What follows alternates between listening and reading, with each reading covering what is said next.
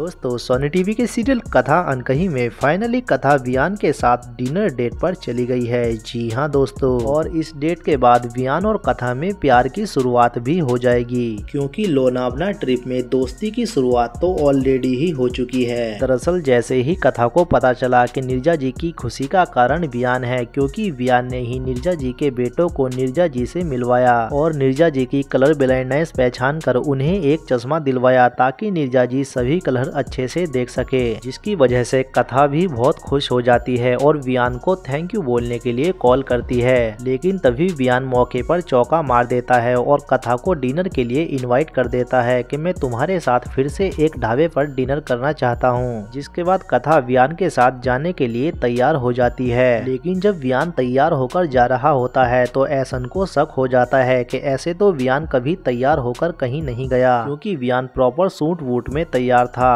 जिसके बाद ऐसन ज़रूर पता लगा कर रहेगा कि आखिर वियान किसके साथ डेट पर गया है, क्योंकि वियान अपने ऑफ़िस में अजीब अजीब हरकत भी कर रहा था जो कि बाहर से नज़र आ रहा था, लेकिन वियान तो एक प्रैक्टिस कर रहा था कि मैं कथा को कैसे प्रपोज करूँ। वहीं दूसरी तरफ़ समीता भी ऑफ़िस आ जाएगी और ऐसन समीता को देख डर जाएगा कि तुम्हें अगर वियान ने यहाँ देख लिया तो मेरी खैर नहीं होगी। इसलिए तुम जल्द से जल्द यहाँ से चले जाओ, लेकिन समीता एहसन को सब कुछ बताती है कि मैंने वियान सर से बात कर ली है और वो मुझे फिर से अर्थकोन में रख रहे हैं। जिसके बाद एहसन तो बहुत खुश हो जाता है क्योंकि एहसन को तो फ्लर्ट करने का मौका मिल जाएगा और समीता ऐसी ही है, जिससे वो आसानी से फ्लर्ट कर सकता है। लेकिन अब देखना ये होगा, आखिर जब एहसन को पता चलेगा कि बियान और कथा दोनों डेट पर गए हैं तो एहसन का क्या रिएक्शन होगा? तो आज के लिए इतना ही, मिलते हैं नेक्स्ट वीडियो में। तब तक के लिए बाय बाय टेक केयर